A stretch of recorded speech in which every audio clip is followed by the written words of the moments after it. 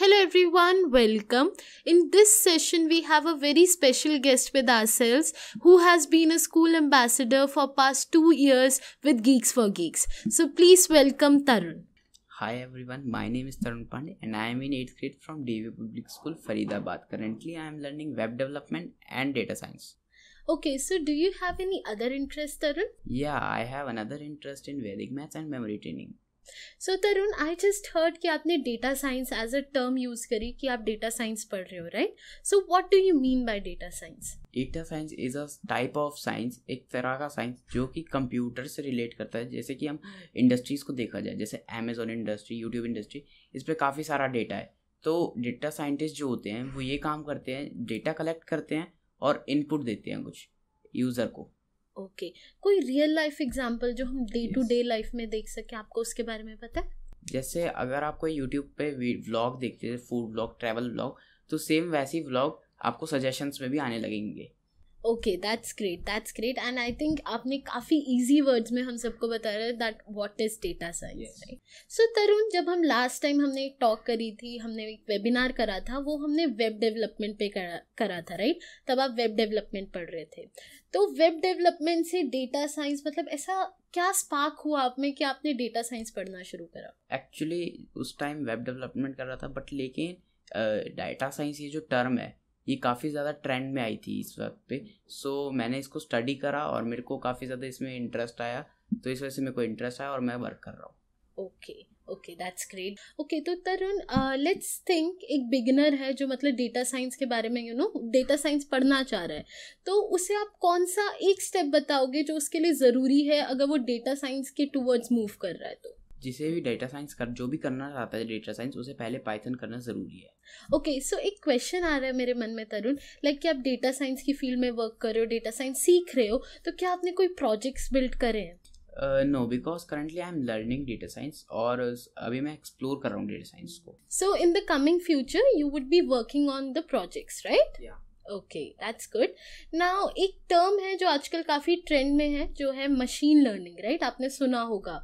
So what does machine learning is like what do you mean by the term machine learning machine learning एक ऐसी field है जिसमें कि machines को हम ट्रेन करते हैं to perform the different task okay okay, तो बेसिकली जो हमारे पास मशीन्स होती हैं हम उनको कुछ इंस्ट्रक्शन के बेस पे ट्रेन कर रहे हैं ताकि वो हमारे अकॉर्डिंग कुछ टास्क को परफॉर्म कर पाए राइट सो अभी यहाँ पे ना दो टर्म्स हाईलाइट हो रही है तरुण। एक है डेटा साइंस और एक है मशीन लर्निंग सो क्या इनके बीच में कुछ लिंक है? मतलब इस data science related to machine learning in some way so what is your take on it data science एक बहुत ब्रॉड है काफ़ी ज़्यादा। इसमें मशीन लर्निंग आता है for artificial intelligence machine learning की हम बात कर रहे हैं।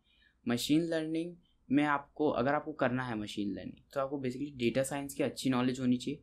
आफ्टर दैट आप मशीन लर्निंग कर सकते हो, क्योंकि मशीन लर्निंग में भी काफ़ी सारे टर्म एंड डेटा साइंस से related okay that's good that's good that was very informative Tarun अब तरुण मेरे पास एक क्वेश्चन आ रहा है वो क्वेश्चन ये है कि जनरली आप एक स्कूल स्टूडेंट हो आप एट्थ ग्रेड में पढ़ रहे हो राइट तो आपके पास स्कूल का भी बहुत काम होगा राइट एग्ज़ाम्स ट्यूशन्स फिर टेस्ट होते एग्ज़ाम्स चलते रहते हैं आपके तो तरुण आप मैनेज कैसे करते हो आप कोडिंग भी पढ़ रहे हो राइट और आप साथ में स्कूल वर्क भी मैनेज कर रहे हो तो आप दोनों चीज़ों को साथ में मैनेज कैसे करते हो लाइक वीक डेज़ में मैं ट्राई करता हूँ जैसे मंडे टू फ्राइडे मेरा स्कूल होता है तो मैं स्कूल से आने के बाद ट्राई करता हूँ बट लेकिन अगर नहीं हो पाता तो मैं वीकेंड डेज़ पे कर लेता हूँ सैटरडे और संडे में डेटा साइंस कर लेता हूँ ओके okay. तो आप ट्राई करते हो कि वीक में एटलीस्ट आप डेटा साइंस पढ़ो राइट right? Daily yeah. नहीं हो पाता तो आप वीकेंड पे फोकस करते हो right okay so that's very good और ये काफ़ी इन्फॉर्मेटिव भी है और मे बी जो स्कूल में स्टूडेंट्स पढ़ते हैं जो मतलब काफ़ी बिज़ी रहते हैं अगर वो वीकडेज में नहीं पढ़ पाते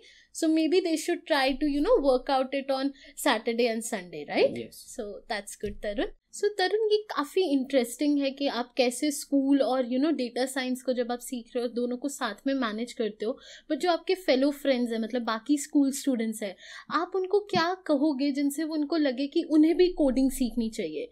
मैं डेटा साइंस स्पेसिफिकली नहीं कहूँगी बट उन्हें प्रोग्रामिंग कोडिंग इस फ़ील्ड में आना चाहिए। आप उन्हें ऐसा क्या कहोगे कि वो कन्विंस हो पाए, वो आपकी बात को समझ पाए? जैसे कि मैं आपको बताना चाहता हूँ कि मैं बहुत ज़्यादा गेम्स खेलता था ऐप्स चलाता था तो मैंने एक बार रिसर्च करी कि ये ऐप्स वगैरह, गेम्स वगैरह बनती कैसे हैं। तो मैंने जब गूगल पे देखा तो ये कोडिंग से बनती है। जब मैंने कोडिंग स्टार्ट करी और इसके और भी बेनिफिट्स हुए मेरे को, जैसे कि प्रॉब्लम सॉल्विंग स्किल्स मेरी इम्प्रूव हुई काफ़ी ज़्यादा।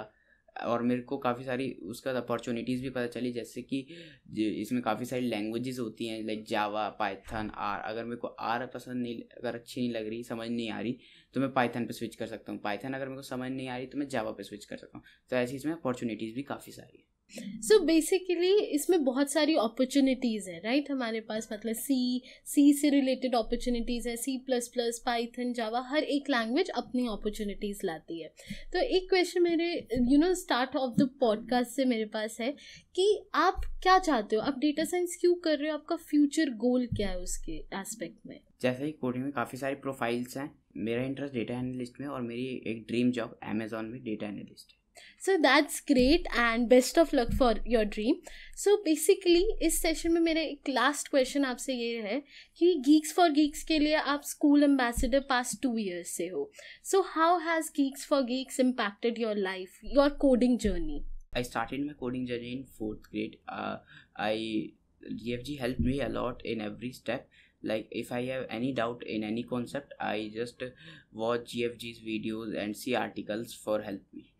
Okay, so I think GFG has helped you a lot in your coding journey. So for today, what would be your message to all our viewers? GFG helped me a lot in every step. Uh, जैसे कि जी F जी community थी वहाँ पे काफ़ी सारी help करी मेरी और जैसे कि जी एफ़ जी की साइट है जैसे फ्री आर्टिकल्स प्रोवाइड करवाते हैं और यूट्यूब वीडियोज़ है काफ़ी फ्री तो जिधर जो भी मेरे को कॉन्सेप्ट में डाउट होता था तो मैं वॉच करता था उनकी वीडियोज़ और आर्टिकल्स देखता था for help me. So it was a great interactive session with the school ambassador Tarun. Very soon GFG is bringing a new school ambassador program for all the school students. So watch out. I hope you guys have liked the session. If you guys have enjoyed the session, make sure you click on the like button and do subscribe our channel and thank you for watching.